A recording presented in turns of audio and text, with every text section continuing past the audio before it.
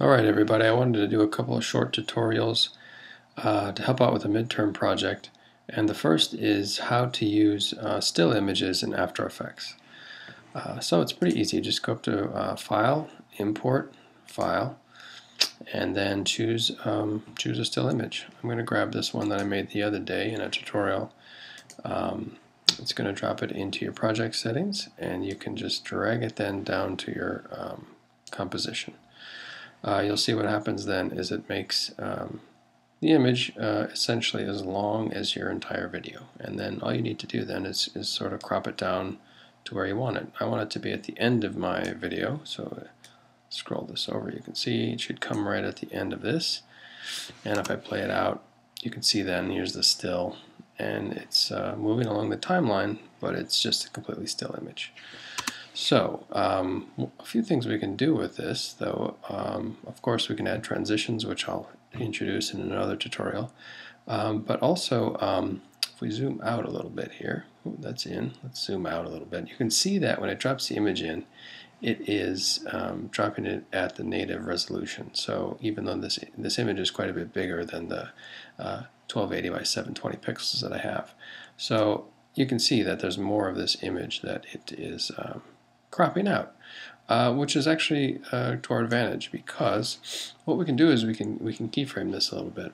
So if we go back to the beginning here, let's see, right along here, let's say, uh, and we open up our um, settings for the, um, just click that open, click open transform here, and let's just start with scale. Uh, you can see you can easily scale this up or scale this down and uh, you know if, once you scale it down you, you're gonna have to kind of move it to get it centered.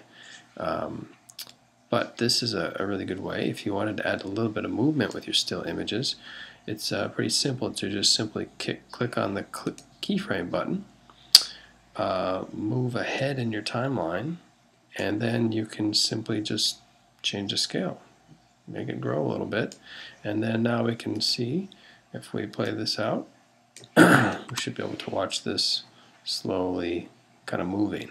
So this is a great way that you can take your stills and add some subtle motion to them. So that's uh, simply keyframing scale. You can also keyframe position. So um, let's see if we go back here and if we wanted to um, we could you know start over let's say down here and then um, click on position and then as we move forward in the timeline, uh, we can also then, you know, move this, you know, up a little bit, let's say, say something like that. And then uh, now we have keyframe both for position and scale. And so if we play this out, we can see now that it is going to kind of zoom in and then it's also slowly kind of moving that light bulb off center. So you could definitely be more dramatic with this if you wanted to. You could zoom out, zoom in, you can rotate, you can do all kinds of different things. You can have different opacity. Uh, but this is a great way that you can start layering in your um, your files. And the last thing to remember is, you know, in After Effects, always uh, think about it just in terms of the timeline. Anything that's stacked on top of itself but this is the audio track, so you don't have to worry about that. But anything, you notice how the files are here. This is sort of stacked on top of this. This one's stacked upon this. So essentially, you're revealing each one of these layers as you go through. So if we, you know, go from this channel to this video, and then we next we reveal that um, uh, the still image. Uh, just remember that if you're if you're stacking your images, if you wanted it to end here, then you could just take this and crop it in and then maybe stack another one below that.